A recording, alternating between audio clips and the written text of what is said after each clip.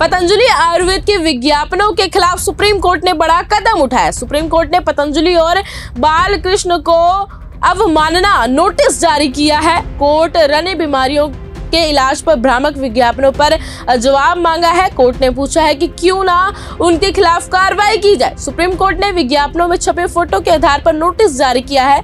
तो जानकारी दे दें आपको कि पतंजलि के विज्ञापनों पर सुप्रीम कोर्ट ने केंद्र सरकार को घेरा है। सुप्रीम कोर्ट ने कहा कि पूरे देश को ऐसे विज्ञापनों के ज़रिए घुमाया जा रहा है और केंद्र सरकार अपनी आँखें बंद करके बैठी है।